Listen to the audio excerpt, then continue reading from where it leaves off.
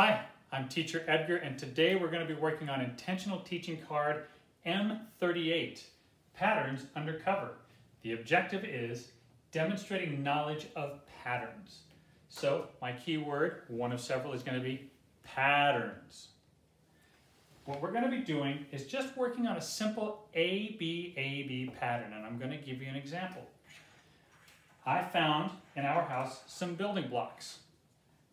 An AB pattern would be green, yellow, green, yellow. Just something simple like that. And we're going to ask our child to predict the next step. So we'll try it right now. Emmett, come on over. Have a seat. Are you ready to play? Yes. Okay, here we go. Watch really carefully. Green, yellow,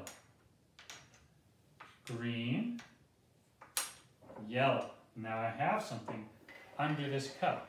What do you think is going to come next? Green. Oh, he thinks it's going to be the color green. Not the color yellow, but green. Let's see. What is it? Green. Green, you predicted the color pattern. Now, if you want to get extra fancy, you can try and ask how they knew what would be next. Well, how did you know that green would be next? Because in these four, there's green, yellow, green, yellow, green.